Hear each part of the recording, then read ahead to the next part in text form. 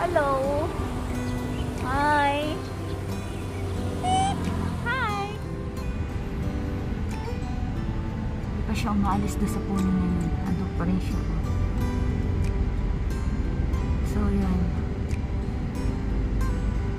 Makikita natin yung maraming maraming monkey doon sa Shatin, sa barbecue site kapag Sunday.